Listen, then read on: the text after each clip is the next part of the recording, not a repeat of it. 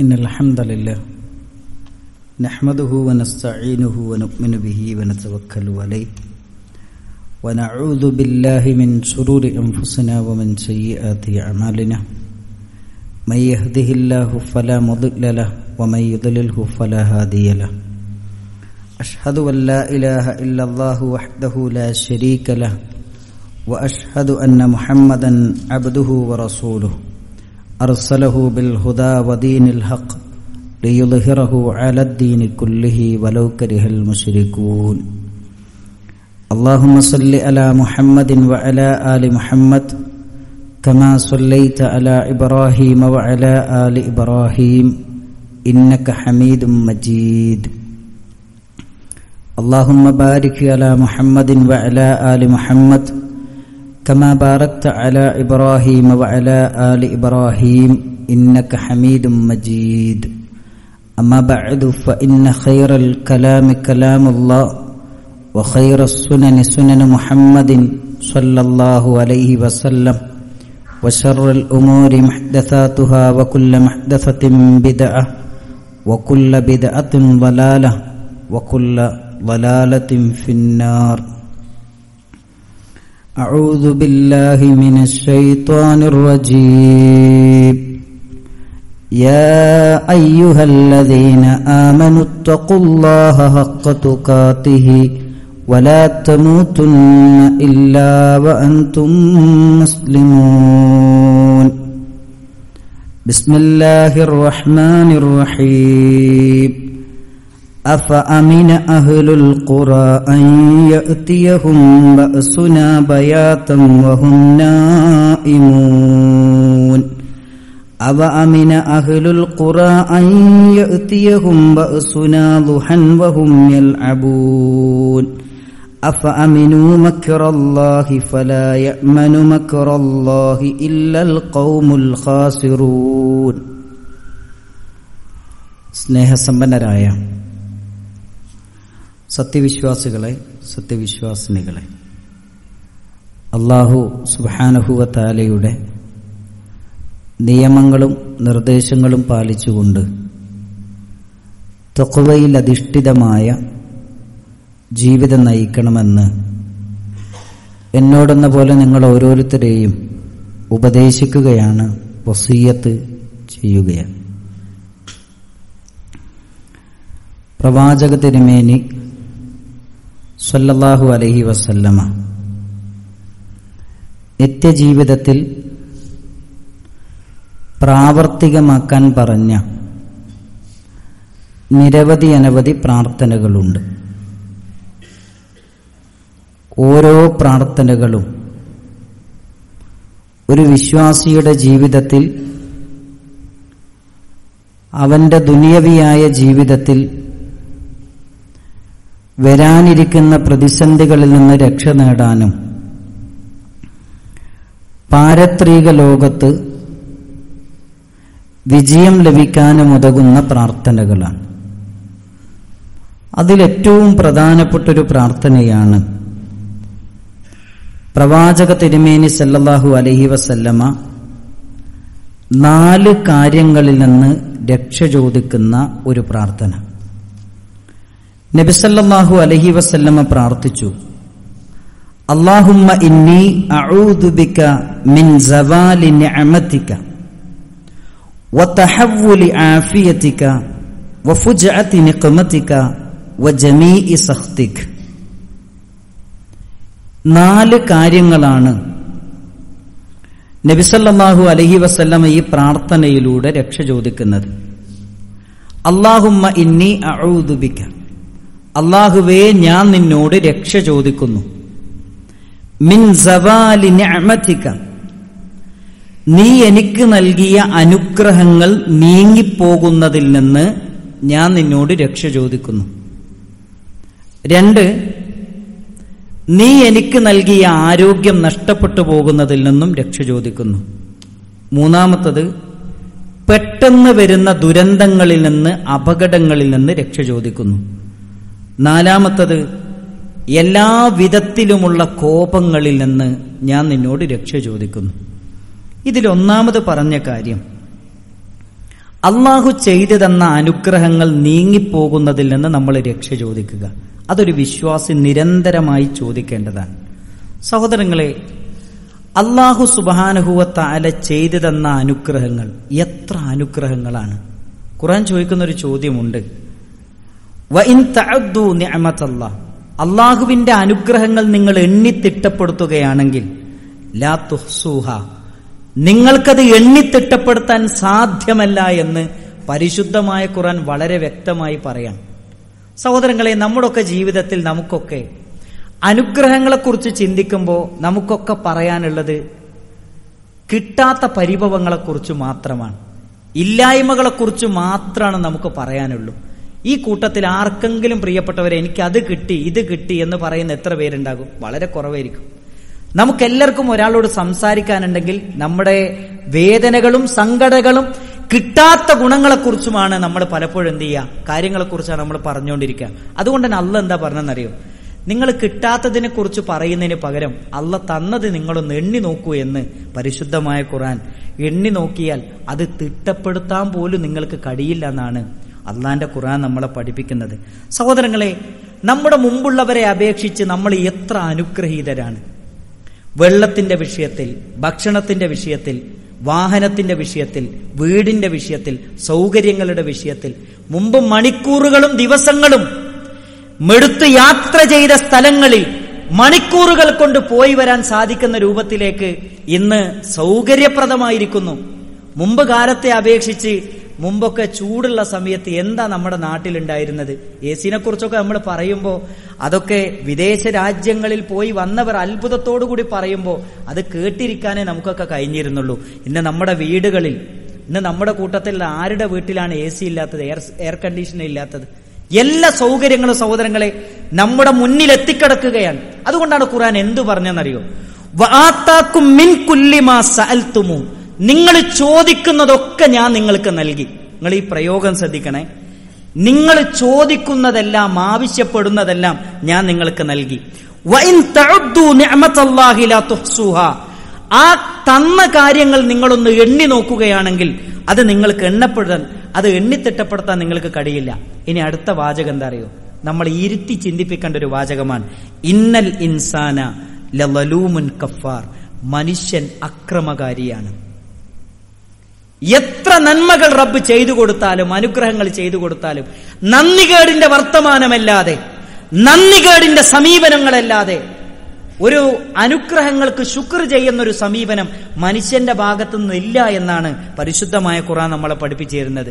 ഈ ആയത്തിനെ വിശദീകരിക്കുന്നിടത്ത് മഹാനായ സുഫിയാനുബിൻ ഒയ്യൈന റഹ്മത്തുല്ലാഹി അലഹി പറഞ്ഞൊരു കാര്യം എന്താ അറിയും ഇന്നമിൻ ശുക്രില്ലാഹി അലന്യമ അല്ല ചെയ്തു തന്ന അനുഗ്രഹങ്ങൾക്ക് നന്ദി ചെയ്യുന്നതിന്റെ നന്ദി കാണിക്കുന്നതിൽ പെട്ടതാണ് അൻ തഹ്മദഹു അലൈഹ അവനെ സ്തുതിക്കുക എന്നത്. സഹോദരങ്ങളെ ഒരു ഗ്ലാസ് വെള്ളം കുടിച്ചു കഴിഞ്ഞാൽ നമ്മൾ പറയുന്ന എന്താ? അൽഹംദുലില്ല.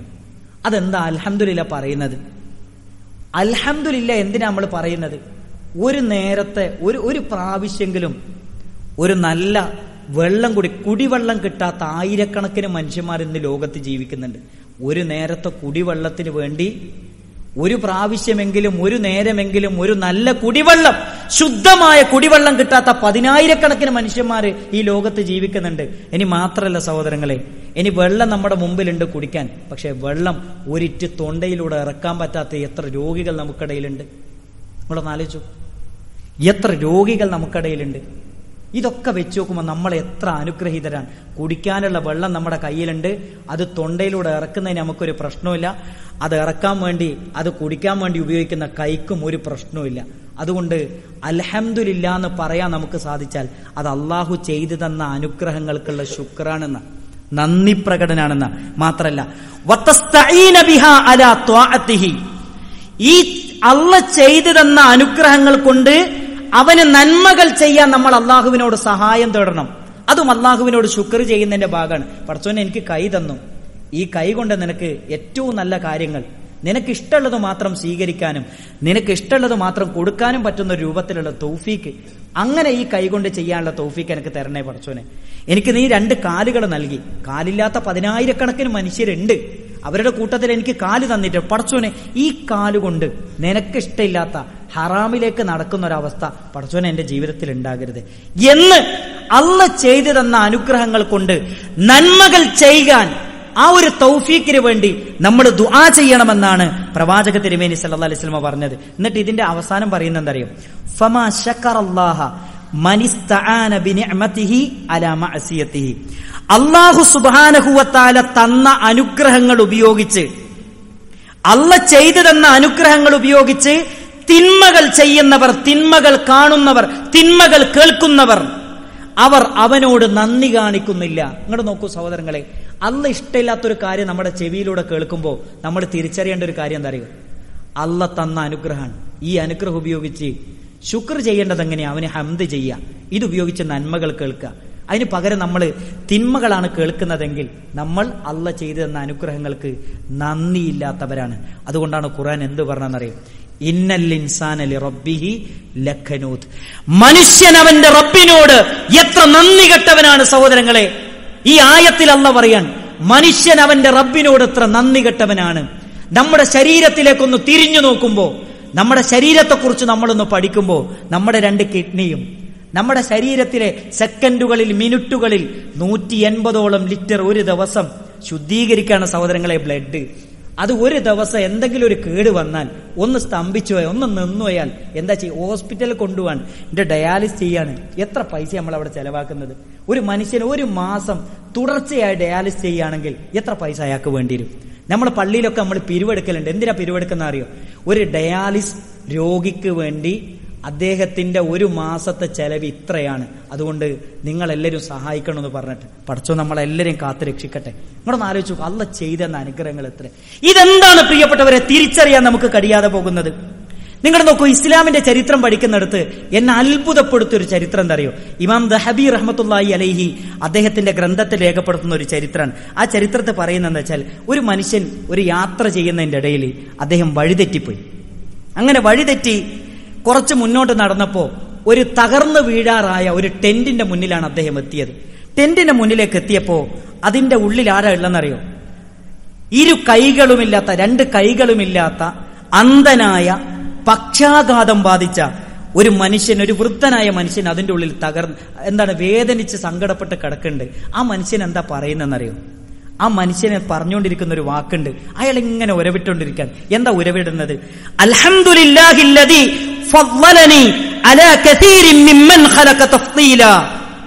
ലോകത്തുള്ള പതിനായിരക്കണക്കിന് മനുഷ്യരെക്കാളും എന്നെ ആദരിക്കുകയും പരിഗണിക്കുകയും ചെയ്ത റബ്ബെ നിനക്കാണ് സർവസ്തുതിയും നിങ്ങൾ ആലോചിച്ച് നോക്കണം. രണ്ട് കൈയില്ലാത്ത ചെവി കേൾക്കാത്ത. നിങ്ങളൊന്ന് ആലോചിച്ച് നോക്കണം. സല്ലല്ലാഹു അലൈഹി വസല്ലമയുടെ ഹദീസ് വിശദീകരിക്കുന്നിടത്തിലാണ് ഈ സംഭവം പറയുന്നത്. അന്ധനായ പക്ഷാഘാതം ബാധിച്ച ഈ മനുഷ്യൻ എന്ത് ചെയ്യാണ്? അയാൾ പറയുന്ന വാക്കെന്താണെന്നറിയോ? അൽഹംദുലില്ല. ലോകത്തുള്ള പതിനായിരക്കണക്കിന് മനുഷ്യരുടെ കൂട്ടത്തിൽ എന്നെ ആദരിച്ച എന്നെ പരിഗണിച്ച റബ്ബെ നിനക്കാണ് സർവസ്തുതിയും ഇത് കേട്ടപ്പോ ഈ വഴിതെറ്റി വന്ന വ്യക്തി ഈ പിന്നെ കിടക്കുന്ന വൃദ്ധനായ ഈ മനുഷ്യനോട് പക്ഷാപാതം ബാധിച്ച ഈ മനുഷ്യനോട് ചോദിക്കുന്ന ഒരു ചോദ്യമുണ്ട്. സഹോദര നിങ്ങൾക്ക് രണ്ട് കൈയില്ല. നിങ്ങൾക്ക് നടക്കാൻ കഴിയില്ല. നിങ്ങൾക്ക് കാഴ്ച നഷ്ടപ്പെട്ട ഒരു മനുഷ്യനാണ്. നിങ്ങൾക്ക് പക്ഷാഘാതം ബാധിച്ചിട്ടുണ്ട്.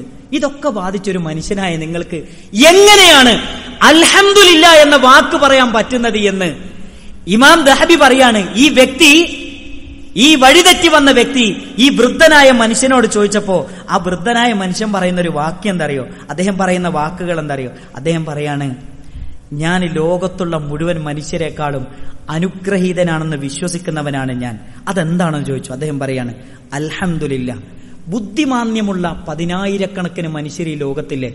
പടച്ചോൻ എനിക്ക് അങ്ങനത്തെ ഒരു പ്രയാസം തന്നില്ലല്ലോ. അപ്പൊ ഞാൻ അലഹന്ദില്ല പറയണ്ടേ? ആലോചിച്ചു. നിങ്ങളൊന്ന് ആലോചിച്ചു നോക്കൂ സഹോദരങ്ങളെ അതെന്താ നമുക്ക് മനസ്സിലാവാത്തത്? അടുത്ത ചോദ്യം എന്താ അറിയോ അദ്ദേഹം പറയാണ് ലോകത്തിൽ ലക്ഷക്കണക്കിന് മനുഷ്യർ കേൾവിയില്ലാത്തവരുണ്ട് പക്ഷെ എനിക്ക് കേൾക്കുന്നുണ്ട്. എനിക്കൊരു പ്രശ്നമില്ല എന്റെ കേൾവിക്ക്. അപ്പൊ ഞാൻ അലഹമില്ല പറയണ്ടേ? മൂന്നാമത് അയാൾ പറഞ്ഞെന്തറിയോ? ലോകത്ത് സംസാരിക്കാൻ കഴിയാത്ത ലക്ഷക്കണക്കിന് മനുഷ്യന്മാരുണ്ട്. ആ കൂട്ടത്തിൽ എന്നെ ഉൾപ്പെടുത്തിയില്ലല്ലോ പടച്ചോൻ. എന്റെ നാവുകൊണ്ട് നിങ്ങളോട് സംസാരിക്കാൻ എനിക്ക് പറ്റുന്നുണ്ടല്ലോ. എന്നിട്ട് അദ്ദേഹം പറയാണ് അലഹമില്ല സഹോദരങ്ങളെ ഈ ചരിത്രം മുന്നിൽ വെച്ചിട്ട് രാവിലെ എഴുന്നേക്കുന്ന സമയത്ത് നമുക്ക് പറയാൻ പറ്റുമോ അലഹമില്ല എന്ന് മനസ്സ് നിറയെ കണ്ണെന്ന് കണ്ണീരൊലിപ്പിച്ച് പ്രിയപ്പെട്ടവരെ നമുക്ക് പറയാൻ പറ്റുമോ അലഹമില്ലാന്ന് പഠിച്ചോനെ. എന്റെ ജീവൻ എനിക്ക് തിരിച്ചു തന്നു. എന്റെ കൈക്ക് ഒരു പ്രശ്നമില്ല എന്റെ കിഡ്നിക്ക് ഒരു പ്രശ്നമില്ല എന്റെ ശരീരത്തിന് ഒരു പ്രശ്നമില്ല ഞാൻ ഇത് പള്ളിയിലേക്ക് നിസ്കരിക്കാൻ വേണ്ടി പോവാൻ സഹോദരങ്ങൾ ആ സമയത്ത് മനസ്സ് നിറയെ ഇത് പറയാൻ നമുക്ക് കഴിയും. പറയാൻ നമുക്ക് കഴിയണം. അതെപ്പോഴേ കഴിയുള്ളൂ എന്നറിയൂ?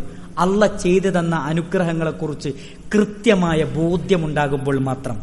ഇതൊക്കെ എന്റെ റബ്ബ് എനിക്ക് തന്നതാ.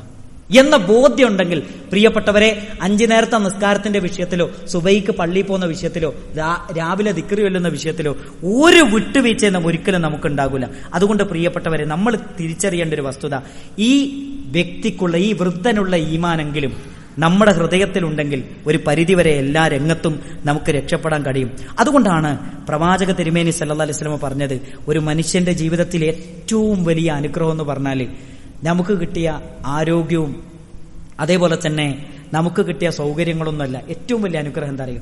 മുസ്ലിമായി ജീവിക്കാൻ സാധിക്കുന്നു എന്നതാണ്.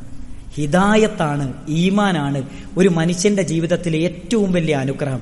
അതുകൊണ്ടാണ് പ്രവാചക തിരുമേനി സല്ലാഹു അലൈ വസ്ലമ പ്രാർത്ഥിക്കുന്ന പ്രാർത്ഥനകളുടെ കൂട്ടത്തിൽ ഏറ്റവും അധികമായി പ്രവാചകൻ പ്രാർത്ഥിച്ച പ്രാർത്ഥന എന്താ അറിയോ? യാ മുസബിത്തൽ കുലൂബ് യാ മുഖല്ലിബൽ കുലൂബ് സബ്ബിത്ത് കൽബി അലാ ദീനിക്. ഹൃദയങ്ങളെ മാറ്റിമറിക്കുന്ന അള്ളാഹുവേ നിന്റെ ദീനിൽ എന്റെ ഹൃദയത്തെ ഉറപ്പിച്ചു നിർത്തേണമേ എന്ന് പ്രവാചക തിരുമേനി സല്ലാഹു അലൈ വസല്ലമ നിരന്തരമായി പ്രാർത്ഥിച്ചിരുന്നു സഹോദരങ്ങളെ. നമ്മൾ എത്ര അനുഗ്രഹീതരാണ്. നമുക്ക് മുസ്ലിങ്ങളായി ജീവിക്കാൻ ഭാഗ്യം ലഭിച്ചവരാണ് നമ്മൾ. മുസ്ലിങ്ങളായി ജീവിക്കാനും ജനിക്കാനും അതനുസരിച്ച് ജീവിക്കാനും ഒക്കെ ഭാഗ്യം ലഭിച്ചവരാണ് നമ്മൾ. അപ്പൊ നമ്മൾ എത്ര അനുഗ്രഹീതരാണ്. അപ്പൊ ഈ അനുഗ്രഹങ്ങൾക്കൊക്കെ നമ്മൾ എന്ത് ചെയ്യണം? നന്ദി കാണിക്കേണ്ടതുണ്ട് എന്നാണ് ഈ ഒരു അവസരത്തിൽ എനിക്ക് ഓർമ്മപ്പെടുത്താനുള്ളത്. രണ്ടാമത്തെ കാര്യം എന്താ വെച്ചാൽ പ്രവാചക തിരുമേനി സല്ല അലൈഹി വസല്ലമ പറയാണ് ഈ അനുഗ്രഹങ്ങൾ നീങ്ങിപ്പോകുന്നതിൽ നിന്നുള്ള ഒരു പേടി നമ്മുടെ ഒക്കെ മനസ്സിലുണ്ടാകണം. എപ്പോഴും റബ്ബിനോട് രക്ഷ ചോദിക്കണം. നിങ്ങൾ നോക്ക് നമ്മുടെ കൂട്ടത്തിലെ പല ആൾക്കാരും മുസ്ലിങ്ങളായി ജീവിച്ച് അവസാനം ഒരു കയറിൽ ജീവിതം അവസാനിപ്പിക്കേണ്ടി വരുന്ന ഒരവസ്ഥ ഇവിടെ ആലോചിച്ചു. മുസ്ലിമായി ജീവിച്ച് അവസാനം മുസ്ലിമിന്റെതല്ലാത്ത മരണം വരിക്കേണ്ടി വരുന്ന ഒരവസ്ഥ അതെന്തുകൊണ്ടാ? തൗഫീക്കില്ലാത്തത് കൊണ്ടാ. അതുകൊണ്ട് നമ്മൾ എപ്പോഴും എന്ത് ചെയ്യണം? അള്ളാഹുവിനോട് അല്ല നമുക്ക് തന്ന അനുഗ്രഹങ്ങൾ നീങ്ങിപ്പോകാതിരിക്കാനും അത് വർദ്ധിച്ചു കിട്ടാനും നമ്മൾ അള്ളാഹുവിനോട് ഈ പ്രാർത്ഥന നമ്മൾ പതിവാക്കണം. രണ്ടാമത്തെ കാര്യം എന്താ വെച്ചാൽ പ്രവാചക തിരുമേനി സല്ലാ അലൈഹി സ്വലമ പഠിപ്പിച്ചെന്നു ആഫിയത്തിക്ക. ഹിദായത്തിന് ശേഷം ഒരു മനുഷ്യന്റെ ജീവിതത്തിലെ ഏറ്റവും വലിയ അനുഗ്രഹം എന്ന് പറയുന്നത് ആഫിയത്താണ് ആരോഗ്യമാണ്. ആ ആരോഗ്യം നഷ്ടപ്പെട്ടു പോകുന്നതിൽ നിന്ന് നമ്മൾ എപ്പോഴും പ്രവാചകൻ സല്ലല്ലാഹു അലൈ വസല്ലമ പഠിപ്പിച്ചെന്നതുപോലെ റബ്ബിനോട് രക്ഷ ചോദിക്കണമെന്നാണ് അള്ളാഹുവിന്റെ റസൂൽ കരീം സല്ലല്ലാഹു അലൈഹി വസ്ലമ നമ്മളെ പഠിപ്പിച്ചത്. ഒരിക്കൽ അബൂബക്കർ റളിയല്ലാഹുന്നു മിമ്പറിന്റെ മുകളിലേക്ക് കയറി നിന്നുകൊണ്ട് അബൂബക്കർ സിദ്ദീഖ് റളിയല്ലാഹുൻ എന്താ ചെയ്യുന്നെന്നറിയോ അബൂബക്കർ റളിയല്ലാഹുവിനെ പറഞ്ഞു മിമ്പറിന്റെ മുകളിൽ കയറി നിന്നുകൊണ്ട് അബൂബക്കർ സിദ്ദീഖ് റളിയല്ലാഹുവിനെ കരഞ്ഞു. എന്നിട്ട് അബൂബക്കർ സിദ്ദീഖ് റളിയല്ലാഹുവിനെ പറയാണ് അള്ളാന്റെ റസൂൽ പറഞ്ഞിട്ടുണ്ട് സലുല്ലാഹ അൽ അഫുവ വൽ ആഫിയ നിങ്ങൾ അള്ളാഹുവിനോട് വിട്ടുവീഴ്ചയും ആരോഗ്യവും നിങ്ങൾ അള്ളാഹുവിനോട് ചോദിക്കണം. കാരണം അള്ളാഹുവിന്റെ റസൂൽ എന്നെ പഠിപ്പിച്ചു തന്നിട്ടുണ്ട്.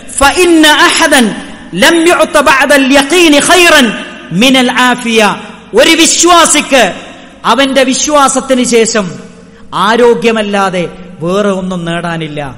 അപ്പൊ ഒരാൾക്ക് വിശ്വാസം കിട്ടിയാൽ ഒരാൾക്ക് ഈമാന് കിട്ടിയാൽ ഒരാൾക്ക് ഹിദായത്ത് കിട്ടിയാൽ അയാളുടെ ജീവിതത്തിലേക്ക് അയാൾക്ക് ഏറ്റവും വലിയ നന്മയായി വരേണ്ടത് ആരോഗ്യമാണ് എന്നാണ് പ്രവാചക തിരുമേനി സല്ലാഹു അലഹി വസല്ലമ എന്നെയും നിങ്ങളെയും പഠിപ്പിക്കുന്നത്.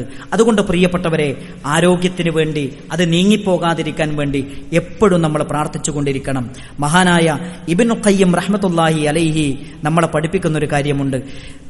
ദുനിയാവിലെയും പരലോകത്തിലെയും മാഫിയത്ത് ഇതിൽ ഉൾക്കൊള്ളുന്നു. ഈ ഹദീസ് കൊണ്ട് ഉദ്ദേശിക്കുന്നത് ദുനിയാവിലെ ആഫിയത്തും അതേപോലെ തന്നെ പരലോകത്തുള്ള ആഫിയത്തുമാണ്.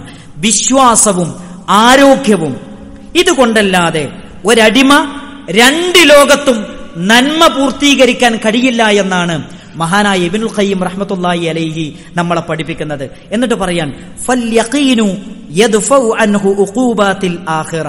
വിശ്വാസം എന്ന് പറയുന്നത് അത് പാരത്രീക ലോകത്തുള്ള എല്ലാവിധ ശിക്ഷകളിൽ നിന്നും നമ്മെ അത് തടയുന്നു. വൽ ആഫിയ. എന്നാൽ ആരോഗ്യമെന്ന് പറയുന്നത്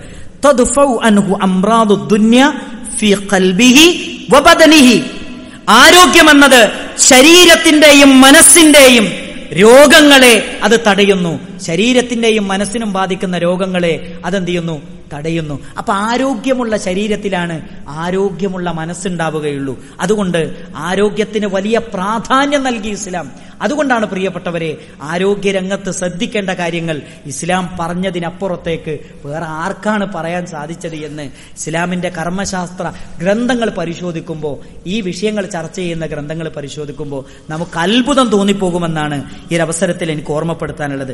മാത്രമല്ല മഹാനായ ബക്കറുൽ മുസ്നി റഹ്മത്തുള്ളി അലഹി പറയുന്ന ഒരു വാക്കമുണ്ട് എന്താ അദ്ദേഹം പറഞ്ഞെന്നറിയോ യബിന ആദം അല്ലയോ മനുഷ്യരെ ഇതാ അറത്ത അൻ തഅലമ ഖദറമ അൻഅമല്ലാഹു അലൈക് അള്ളാഹു നിനക്ക് നൽകിയ അനുഗ്രഹങ്ങളെ കുറിച്ച് അറിയാൻ നീ എന്ത് ചെയ്താൽ മതി എന്നറിയോ? ഫഹമ്മിൽ ഐനേക്ക് നിന്റെ കണ്ണുകളൊന്ന് പൂട്ടിയാൽ മാത്രം മതി. നിന്റെ കണ്ണുകളൊന്ന് പൂട്ടിയാൽ മതി. അള്ളാന്റെ അനുഗ്രഹങ്ങൾ എത്ര ഉണ്ട് എന്ന് അറിയാൻ നിനക്ക് മോഹമുണ്ടെങ്കിൽ നിന്റെ കണ്ണുകളൊന്ന് ചിമ്മുക. അപ്പൊ നിനക്ക് മനസ്സിലാകും അള്ള ചെയ്തു തന്ന അനുഗ്രഹങ്ങളുടെ മഹത്വവും അല്ല നിന്റെ ജീവിതത്തിൽ നിനക്ക് നൽകിയ ആരോഗ്യത്തിന്റെ ശ്രേഷ്ഠതയുമെന്ന് ഈ മഹാനായ ബക്കറുൽ മുസ്നി റഹ്മത്തുല്ലായി അലൈഹി നമ്മളെ പഠിപ്പിക്കുന്നു. നിങ്ങൾ നോക്കൂ സഹോദരങ്ങളെ നമ്മുടെ ചുറ്റുപാടും മാരകമായ ക്യാൻസർ രോഗം ബാധിച്ച് കിടക്കുന്ന പതിനായിരക്കണക്കിന് മനുഷ്യരുണ്ട്. ആർ സി സിയിലൊക്കെ ഒന്ന് പോകുമ്പോൾ പ്രിയപ്പെട്ട മക്കളെയും കുടുംബത്തെ കൂട്ടി നമ്മൾ അവിടെയൊക്കെ ഒന്ന് പോകണം. മുക്കത്ത് നമ്മളൊന്ന് ഇടക്കൊന്ന് ചെന്നോക്കണം. അവിടെ താടിയുടെ ഭാഗത്ത് നിന്ന് മുറിച്ചു മാറ്റിയ ശരീരത്തിലെ പല ഭാഗങ്ങളും വിച്ഛേദിക്കപ്പെട്ട പതിനായിരക്കണക്കിന് മനുഷ്യരെ കാണുമ്പോൾ എന്റെ മനസ്സിൽ ഭയങ്കര സങ്കടം തോന്നിയ ഒരു കാര്യമാണ്. ആർ സി സിയുടെ വരാന്തയിലൂടെ ഇങ്ങനെ പോകുമ്പോൾ ഒരു പതിനെട്ട് പത്തൊമ്പത് വയസ്സുള്ള ഒരു കുഞ്ഞു മോൾ നിങ്ങൾ നോക്കണം ആ മോളെ ഉമ്മ മടിയിൽ കിടത്തുകയാണ് നിങ്ങൾ നോക്കണം ആ ഉമ്മ മടിയിൽ കിടത്തിയിട്ട് പിന്നെ കഞ്ഞി കൂരി കൊടുക്കുകയാണ് വായിലേക്ക്. ഈ ക്യാൻസർ എന്ന മാരകമായ രോഗം ബാധിച്ച് താടിയുടെ ഈ ഭാഗം എന്ത് ചെയ്തിട്ടുണ്ട്? മുറിച്ചു മാറ്റിയിട്ടുണ്ട്. കഞ്ഞി ഇങ്ങനെ കൊടുക്കുമ്പോൾ ഉള്ളിലൂടെ ഇങ്ങനെ ഈ സൈഡിലൂടെ ഇങ്ങനെ ഒലിച്ചു പോരാണ് നമ്മൾ എത്ര അനുഗ്രഹീതനാണ്. നമ്മൾ എത്ര അനുഗ്രഹീതരാണ്. അതാണ് പറഞ്ഞത്. നമുക്ക് അല്ല തന്ന ആരോഗ്യമെന്ന അനുഗ്രഹം അത് നീങ്ങിപ്പോകുന്നതിൽ നിന്ന് അള്ളാഹുവിനോട് നമ്മളെപ്പോഴും രക്ഷ ചോദിക്കണമെന്നാണ് പ്രവാചക തിരുമേനി സല്ലാഹു അലഹി വസല്ലമ നമ്മളെ പഠിപ്പിച്ചത്. അള്ളാഹിന്റെ റസൂൽ പഠിപ്പിച്ചു തന്നു. അധിക ജനങ്ങളും വഞ്ചിതരായ രണ്ട് അനുഗ്രഹമുണ്ട്. ഒന്ന് ആരോഗ്യമാണ് ഒഴിവ് സമയമാണ്. ഒരിക്കലും നമ്മുടെ ആരോഗ്യം അത് നഷ്ടപ്പെടുത്തുന്ന അത് കേടുവരുത്തുന്ന ഒരു ജീവിത രീതി നമ്മൾ സ്വീകരിക്കരുത്. അതിനെ പുഷ്ടിപ്പെടുത്തുകയും അതിനെ സംരക്ഷിച്ചു നിർത്തുകയും ചെയ്യുന്ന ഭക്ഷണക്രമവും രീതിയും കൈവരിക്കാൻ നമ്മൾ ശ്രദ്ധിക്കണമെന്നാണ് പരിശുദ്ധ ഇസ്ലാം നമ്മളെ പഠിപ്പിക്കുന്നത്. അത് ശ്രദ്ധിക്കുകയും അതിനുവേണ്ടി പ്രാർത്ഥിക്കുകയും വേണമെന്നാണ് മുഹമ്മദ് മുസ്തഫ സല്ലാ അലൈഹി സ്വലമ പഠിപ്പിക്കുന്നത്. അങ്ങനെ ജീവിക്കുന്നവരുടെ കൂട്ടത്തിൽ നമ്മെ എല്ലാവരെയും ഉൾപ്പെടുത്തി അനുഗ്രഹിക്കുമാറാകട്ടെ. അസ്തഫുറുല്ലാഹ് അലിഖ് വലക്കും വലിസ ഇരിൽ മുഅ്മിനീൻ.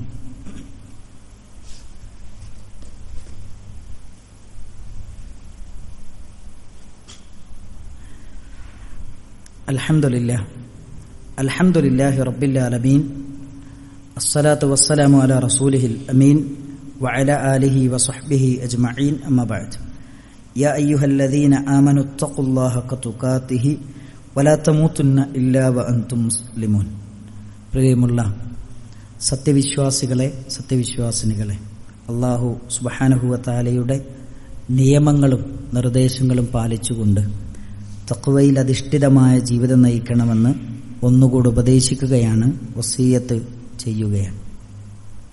മൂന്നാമത് പറഞ്ഞ കാര്യം വഫുജ് അത്തി നിക്കുമ്പത്തിക്ക പെട്ടെന്നുള്ള ദുരന്തങ്ങളിൽ നിന്ന് അള്ളാഹുവേ ഞാൻ നിന്നോട് രക്ഷ ചോദിക്കുന്നു.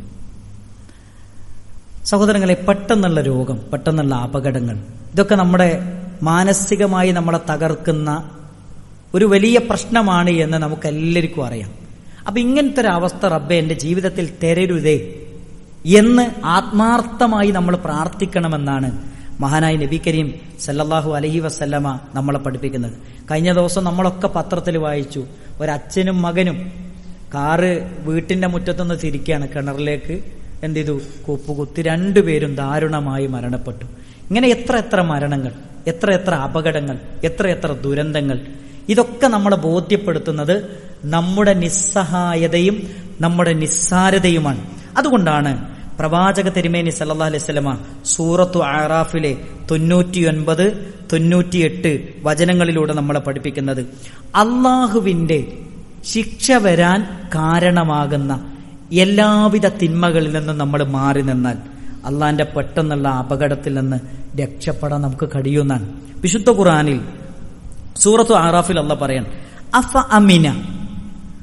അഫ അമിന ഖുറാൻ ചോദിക്കാണ് അവർ സമാധാനത്തിൽ ഇരിക്കുകയാണോ? ഖുറാന്റെ ചോദ്യമാണ് അവർ സമാധാനത്തിൽ ഇരിക്കുകയാണോ? അഖിലുൽ ഖുറ ആ രാജ്യക്കാര്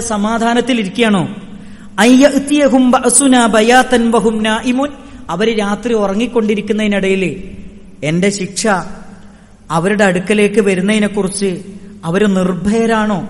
അവർ വലിയ സമാധാനത്തിലാണോ? എന്ന് ഖുർആൻ ചോദിക്കാണ്. അവർക്ക് ഒരു പേടിയില്ലേ അടുത്ത ചോദ്യം എന്താ അറിയോ? അവാമിന അഹ്ലുൽ ഖുറ. പരിശുദ്ധമായ ഖുർആൻ ചോദിക്കുകയാണ്. ആ രാജ്യക്കാർ സമാധാനപ്പെട്ടിരിക്കുകയാണോ? ആ ഒരു ഉച്ച സമയത്ത് ഇളയുച്ച സമയത്ത് ലുഹയുടെ സമയത്ത് നമ്മുടെ ശിക്ഷ അവരുടെ അവരിലേക്ക് വരുന്നതിനെ കുറിച്ച് അവർ കളിച്ചുകൊണ്ടിരിക്കെ അവരിലേക്ക് വരുന്നതിനെ കുറിച്ച് അവർ സമാധാനപ്പെട്ടിരിക്കുകയാണോ? അഫ അമിനു മക്കിറല്ല അള്ളാന്റെ തന്ത്രത്തെക്കുറിച്ച് അവർ നിർഭയരാണോ? ഫലായമനു മക്കറല്ല. അള്ളാന്റെ തന്ത്രത്തെക്കുറിച്ച് സമാധാനപ്പെടില്ല. ഇല്ലൽ കൗമുൽ ഹാസിറുൻ നഷ്ടക്കാരല്ലാതെ. അള്ളാന്റെ ശിക്ഷേനെ കുറിച്ച് പേടിക്കാത്തവരാരാ? നഷ്ടക്കാര് മാത്രാണ് നഷ്ടക്കാര് മാത്രാണ് ദൗർഭാഗ്യവാന്മാർ മാത്രാണ് അതുകൊണ്ട് അള്ളാന്റെ ശിക്ഷ ഏത് സമയത്തും നമുക്ക് വരാം. അതുകൊണ്ട് നമ്മുടെ മനസ്സിന്റെ ഉള്ളിൽ ആ ശിക്ഷ വരാൻ കാരണമാകുന്ന എല്ലാ തിന്മകളിൽ നിന്നും മാറി നിൽക്കുന്നതോടൊപ്പം തന്നെ റബ്ബിനോട് ആത്മാർത്ഥമായി പ്രാർത്ഥിക്കുകയും വേണമെന്നാണ് പ്രവാചക തിരുമേനി സല്ലാ അലൈഹി സ്വലമ നമ്മളെ പഠിപ്പിച്ചത്. ഈ ആയത്തിനെ വിശദീകരിക്കുന്നിടത്തിൽ മഹാനായ ഷൗക്കാനി മഹാനായ ആ റഹ്മത്തുല്ലാഹി അലൈഹി പറയുന്ന ഒരു വാക്കുണ്ട്. വസ്തആദ സല്ലല്ലാഹു അലൈഹി വസല്ലം മിൻ ഫുജഅത്തി തആല. നബി സല്ലല്ലാഹു അലൈഹി വസല്ലമ അള്ളാഹുവിന്റെ ശാപം പെട്ടെന്ന് ഇറങ്ങുന്നതിനെ സംബന്ധിച്ച് എപ്പോഴും രക്ഷ ചോദിക്കാറുണ്ടായിരുന്നു. അള്ളാഹുവിന്റെ ശിക്ഷ പെട്ടെന്നിറങ്ങുന്ന എല്ലാ കാര്യങ്ങളിൽ നിന്നും നബി സല്ലല്ലാഹു അലൈഹി സ്വലമ രക്ഷ ചോദിക്കാറുണ്ടായിരുന്നു. ലി അന്ന. കാരണം തഖമ മിനൽ അബ്ദി. അള്ളാഹു ഒരു അടിമയോട് പ്രതികാരം ചെയ്യുകയാണെങ്കിൽ ഫഖദ് അഹല്ല ബിഹി മിനൽ ബലാഇ മാ ലാ അലാ റഫ്ഇഹി. അവനിലേക്ക് അവന് തടുക്കാൻ കഴിയാത്ത പരീക്ഷണമാണ് കൊടുക്കുക. അല്ല ഒരാളോട് പ്രതികാരം ചെയ്യണമെന്ന് ഉദ്ദേശിച്ചാൽ അവർക്ക് തടുക്കാൻ കഴിയാത്ത പരീക്ഷണമാണ് അവർക്ക് കൊടുക്കുക. മാത്രല്ല വലായുസ്തദ് വലായുസ്തദ് ഫഉ ബിസാഇരിൽ ലോകത്തുള്ള മുഴുവൻ മനുഷ്യരും ഒരുമിച്ചാലും റബ്ബിന്റെ ശിക്ഷയെ പിടിച്ചു കെട്ടാൻ സാധിക്കാത്ത വിധമുള്ള പരീക്ഷണമാണ് അവർക്ക് നൽകുക. നിങ്ങൾ നോക്കൂ സഹോദരങ്ങളെ രണ്ടു കൊല്ലം പത്തൊൻപതും ഇരുപതും രണ്ടായിരത്തി പത്തൊൻപതും ഇരുപതും. ലോകത്ത് എത്ര കണ്ടുപിടുത്തങ്ങളുടെ വിപ്ലവങ്ങൾ നമ്മൾ സൃഷ്ടിച്ചു. ശാസ്ത്ര സാങ്കേതിക രംഗത്ത്. അതേപോലെ തന്നെ എല്ലാ രംഗങ്ങളിലും വലിയ വിപ്ലവങ്ങൾ സൃഷ്ടിക്കാൻ നമുക്ക് സാധിച്ചു. കൊറോണ എന്ന് പറയുന്ന മാരകമായ വൈറസിനെ പിടിച്ചുകെട്ടാൻ നമുക്ക് കഴിഞ്ഞു. എല്ലാവരും നിസ്സഹരായില്ലേ? ദുർബലന്മാരായി പോയില്ലേ സഹോദരങ്ങളെ? ഇതാണ് പരിശുദ്ധമായ ഖുർആൻ പറഞ്ഞത്. അല്ല ഒരു ടീമിനെ ശിക്ഷിക്കാൻ വിചാരിച്ചു കഴിഞ്ഞാൽ ആര് വിചാരിച്ചാലും പടച്ചോൻ എന്ത് ചെയ്യാൻ കഴിയില്ല? ഒരാൾക്ക് രക്ഷപ്പെടാൻ കഴിയാത്ത രൂപത്തിലുള്ള ശിക്ഷയായിരിക്കും പടച്ചറബ് ഇവിടെ ഇറക്കാന്നാണ് അള്ളാഹുവിന്റെ റസൂൽ കരീം സല്ലാ അലൈഹി സ്വലമ ആയത്തോതി നമ്മളെ പഠിപ്പിച്ചേരുന്നത്. ഈ ഒരു ബോധം എന്ത് ചെയ്യണം? നമ്മുടെ മനസ്സിന്റെ ഉള്ളിൽ ഉണ്ടാകണം നാലാമത്തെ ഒരു കാര്യം എന്താ വെച്ചാൽ റസൂൽ അള്ളാഹി സല്ലാഹു അലഹി വസ്ല്ലമ നാല് കാര്യങ്ങളാണ് നമ്മളെ പഠിപ്പിച്ചെന്നത് ഈ നാല് കാര്യങ്ങളും നമ്മൾ മറക്കാതിരിക്കുക. പ്രവാചക തിരുമേനി സല്ലാ അലൈഹി സ്വലമ ഒന്ന് പറഞ്ഞു അനുഗ്രഹങ്ങൾ നീങ്ങിപ്പോകുന്നതിൽ നിന്ന് നമ്മൾ രക്ഷ ചോദിക്കണം. ആരോഗ്യം നഷ്ടപ്പെടുന്നതിൽ നിന്ന് രക്ഷ ചോദിക്കണം. പെട്ടെന്ന് വരുന്ന ദുരന്തങ്ങളിൽ നിന്ന് രക്ഷ ചോദിക്കണം. എല്ലാ വിധത്തിലുള്ള പടച്ച റബ്ബിന്റെ കോപങ്ങളിൽ നിന്നും അള്ളാന്റെ കോപം അതിൽ നിന്ന് രക്ഷ നമ്മൾ എന്ത് ചെയ്യണം? എപ്പോഴും റബ്ബിനോട് നമ്മൾ ചോദിക്കണം. അങ്ങനെ ചോദിച്ച് ജീവിച്ചാൽ മാത്രമാണ് ദുനിയാവിലും ആഹിറത്തിലും നമുക്ക് രക്ഷപ്പെടാൻ സാധിക്കുകയുള്ളൂ എന്നാണ് പ്രവാചക തിരുമേനി സല്ലാഹു അലഹി വസല്ലമ നമ്മളെ പഠിപ്പിക്കുന്നത്. അങ്ങനെ പ്രാർത്ഥിക്കുന്ന സത്യവിശ്വാസികളുടെ കൂട്ടത്തിൽ നമ്മെ എല്ലാവരെയും ഉൾപ്പെടുത്തി അനുഗ്രഹിക്കുമാറാകട്ടെ. മാരകമായ രോഗങ്ങളിൽ നിന്ന് പരീക്ഷണങ്ങളിൽ നിന്ന് അള്ളാഹു നമ്മയും നമ്മുടെ കുടുംബത്തെയും നമ്മുടെ സമൂഹത്തെയും കാത്തുരക്ഷിക്കുമാറാകട്ടെ ജീവിതത്തിൽ നിത്യജീവിതത്തിൽ പ്രാവർത്തികമാക്കാൻ പറയപ്പെട്ട എല്ലാ പ്രാർത്ഥനകളും ജീവിതത്തിൽ പ്രാവർത്തികമാക്കുന്ന അത് പ്രാർത്ഥിക്കുന്ന യഥാർത്ഥ സത്യവിശ്വാസികളിൽ നമ്മെ എല്ലാവരെയും ഉൾപ്പെടുത്തി അനുഗ്രഹിക്കുമാറാകട്ടെ. ജീവിതത്തിന്റെ മുഴുവൻ മേഖലകളിലും പരിശുദ്ധ ഖുറാനും തിരുസുന്നത്തും നെഞ്ചേറ്റി ജീവിതം പരിവർത്തിപ്പിക്കുന്നവരിൽ നമ്മെ എല്ലാവരെയും ഉൾപ്പെടുത്തി അനുഗ്രഹിക്കുമാറാകട്ടെ. നമ്മുടെ കുടുംബത്തിൽ അള്ളാഹു സ്വസ്ഥതയും സമാധാനവും നൽകി അനുഗ്രഹിക്കുമാറാകട്ടെ. നമ്മുടെ ഭാര്യമാരിൽ നിന്നും മക്കളിൽ നിന്നും കൺകുളിർമ പ്രദാനം ചെയ്യുമാറാകട്ടെ. നമ്മളിൽ നിന്ന് മരണപ്പെട്ടു പോയ നമ്മുടെ മാതാപിതാക്കളുടെ കബറുകൾ അള്ളാഹു സ്വർഗത്തിന്റെ പൂന്തോപ്പാക്കി മാറ്റിക്കൊടുക്കുമാറാകട്ടെ. അവരെയും നമ്മയും അവന്റെ ജന്നാത്തുൽ ഫിറദോസിൽ ഒരുമിച്ചു കൂട്ടി അനുഗ്രഹിക്കുമാറാകട്ടെ.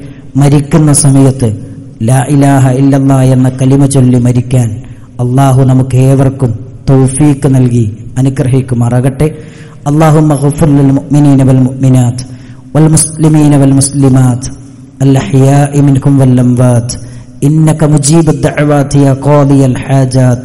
اللهم أجرنا من النار اللهم أجرنا من النار اللهم أجرنا من النار. ربنا تقبل منا إنك أنت السميع العليم وتب علينا إنك أنت التواب الرحيم. ربنا آتنا في الدنيا حسنة وفي الآخرة حسنة وقنا عذاب النار. أمين برحمتك يا الرحيم